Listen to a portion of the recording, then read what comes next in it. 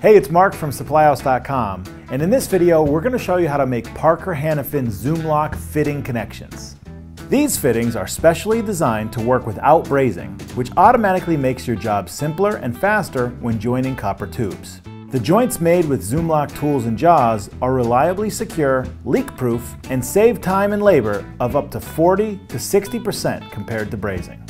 ACR, Type M, and Type L copper tubing are all approved for ZoomLock fittings.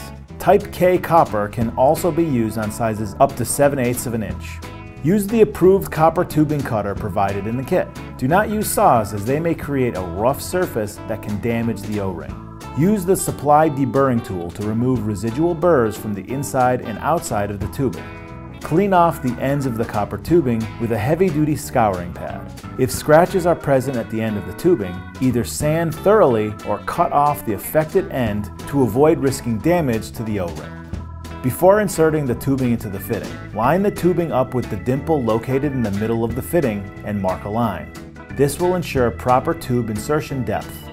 Be sure to properly place the crimping jaws on the fitting using the grooves for alignment. Trigger the device to crimp the fitting in place.